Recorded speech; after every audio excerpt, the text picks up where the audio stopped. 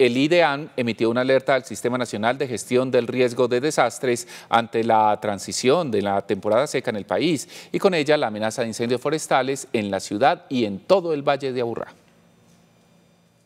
La recomendación a los consejos departamentales y municipales de gestión del riesgo es que desplieguen las medidas para evitar incendios en áreas rurales y urbanas. Esto implica que el DAGRED hoy tenga activado con el Cuerpo Oficial de Bomberos de Medellín la estrategia de respuesta para atender los incidentes de ciudad presentados por incendios forestales en esta temporada.